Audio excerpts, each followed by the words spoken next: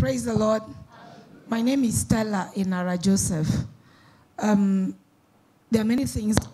I'm a potpourri of many things, many experiences. I've been through a lot of deliverances, but somehow, one nugget I picked from this meeting.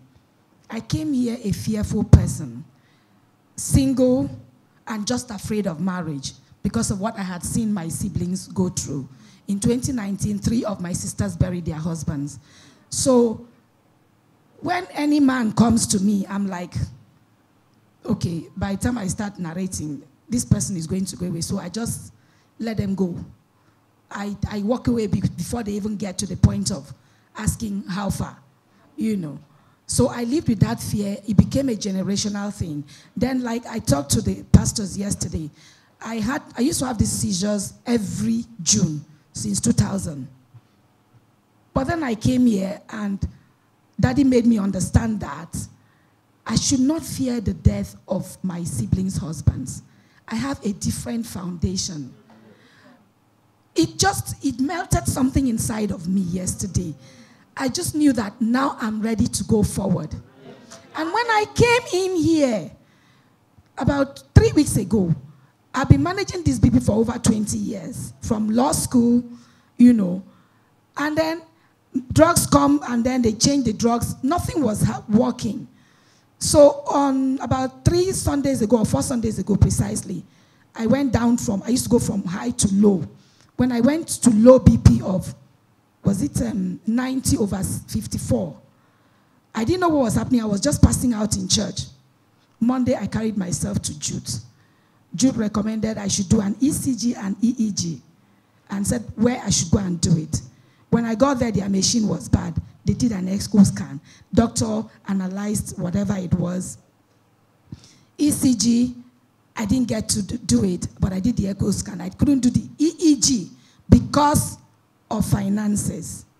Then I got the message saying sorting out. I said, but I've gotten this message before. Do you know, I started asking people, I started forwarding the text to people. I said, please, do you know anything about sorting out? Sorting out, sorting out. Everybody was saying, I don't know, I don't know. One girl just said, you don't need it all. You, don't, you shouldn't be going to such places. I said, really? So I called a friend because they gave the name of who suggested me. I called her. She said, ah, but Inara, we've talked about this before. It's a prayer retreat. I think you should go for it. I was in the middle of pain because after the ECG, the doctor analyzed, but there was a pain on this side. Brethren, I'm telling you this thing, eh? I'm talking now. But before now, if I talk or swallow, it goes from my throat to this place. I couldn't explain what was happening. It got so bad. After the medical, um, the doctor had analyzed what was happening to me. One night I couldn't sleep. I sent a message to my class platform. I said, Doctors on the platform, please. I'm sure they will watch this video wherever and they know it's true. Please, I need to talk to a cardiologist. I don't know what's happening to me. So a couple of them started calling me, Inara, what's going on? What's going on? Then they analyzed and all of that. It was within that period that this sorting out text came to me. And then I told my friend the morning the sorting out was to start, I said, I don't remember us talking about it, but since you said I should go for this, I'm going to come for this. I came here, I was in pain.